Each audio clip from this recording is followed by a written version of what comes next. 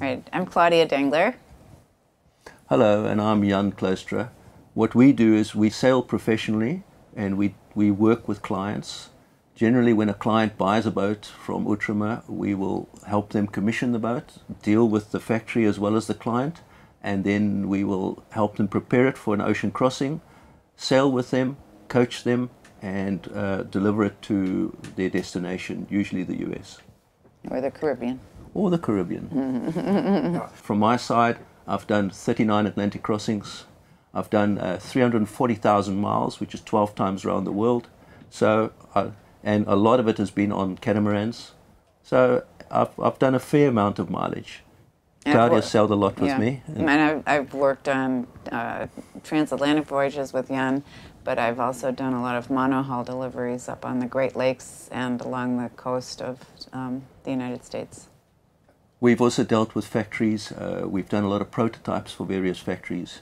The initial number ones to help them resolve their problems, and we've dealt with a lot of clients. So we've got quite a wide, uh, varied uh, experience in boating. Well, when we come and pick up the boat, um, we receive it on behalf of the owner, and we work with the factory to inspect all the finish work on the boat, test all the equipment. We take the boat out sailing, raise all the sails, test all the electronics, and make sure everything runs smoothly the way it should and that all the systems work together the way they're supposed to. And when there are issues that need to be resolved, we work with the factory to address the, the issue. And um, this factory has very good technical people in every category, whether it's the fiberglass people, the interior design and finish work, the refrigeration people, the electronics and electrical systems, the plumber. I mean, these are all people who are clearly very accomplished um, professional craftspeople. And they're very fun and nice to work with. They, um, despite the language barrier, many of them don't have much English, and we don't have that much French. So it's been really um, sometimes a little bit of a struggle to communicate, but they're patient and very professional and, and really genuinely fun to work with. Yeah, I'd like to add to that. There are actually amazing people to deal with. They've been very, very good. Um, not only technically are they very, very good, but they're just very nice people to deal with. So it's actually been a pleasure working with the Outremer team. And the management too. We've done a lot of work with the upper management as they have become more and more interested in working with the American market. Um, the president of the company and all of his senior staff have also been really delightful to work with. Very knowledgeable and um, skilled executives and, and very fun people. The factory's actually been amazing in the way that they've dealt. These are all hand-built boats, so you will have mm -hmm. issues with, with boats, which is normal. But the way that they deal with it and the way that they are prepared to uh, to stand behind their product is absolutely awesome. Mm. They are really they, they really do stand behind the product. They the, the assistance they give and the support they give after a person has bought the boat has been absolutely amazing. I'm really really impressed. Yeah, that last time we were here, one of the people who works in the fiberglass department, a young woman, came on board and was inspecting the finished boat because she hadn't seen the finished boat since she worked on it. And you could just see she was so proud of the product. And, she, you know, when she introduced herself, she said, I built the boat.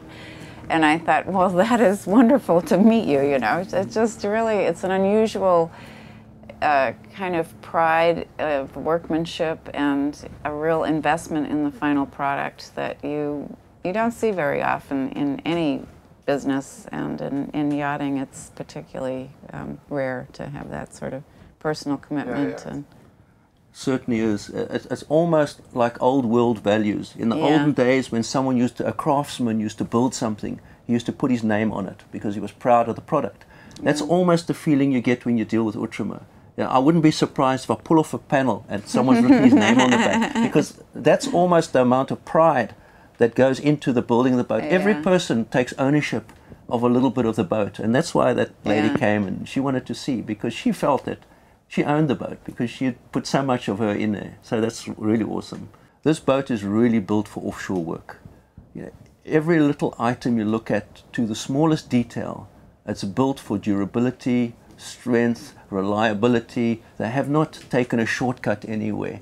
It's, it's a seriously good offshore boat. It's not a compromise boat. So, as a professional, I enjoy the quality of the boat.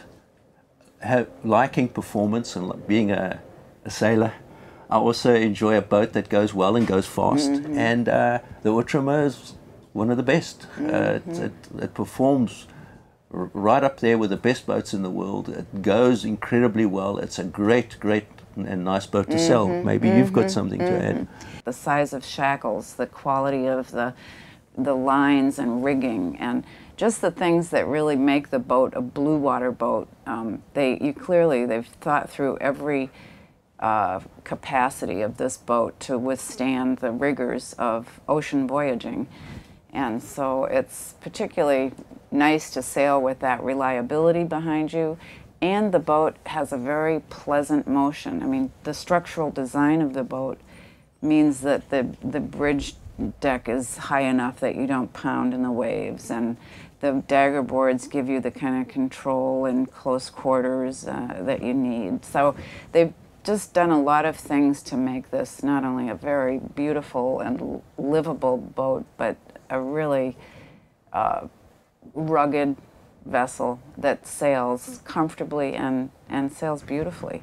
She's just, we've spent thousands of hours sailing these boats and in not always perfect conditions.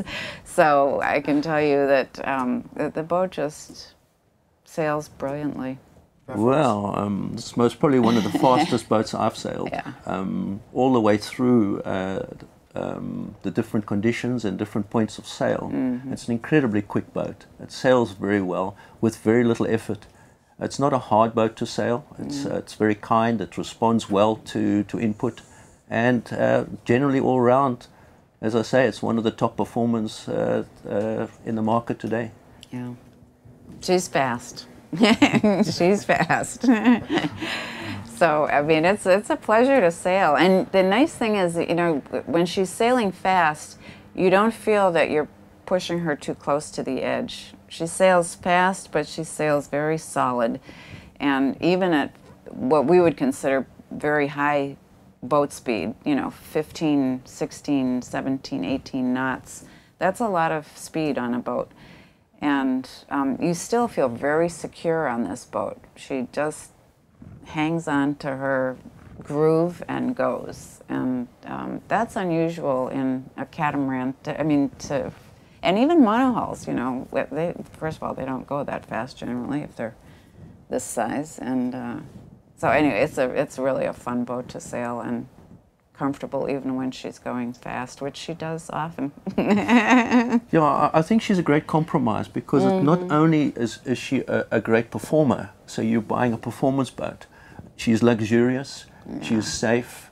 These are all the things that the clients want and expect and, and, and pay for. And uh, it actually delivers on, on all the different uh, mm-hmm. levels that, uh, that are the client's requirements. So it's a, it's a great boat. Bon anniversaire. well, just keep doing what you're doing because yeah, you're doing it right. Yeah.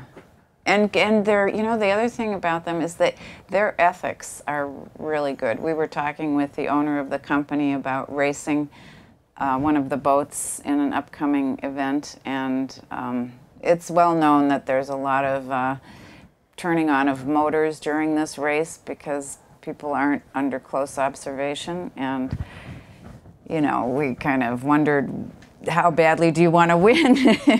and he said we'd never give up our ethics to win.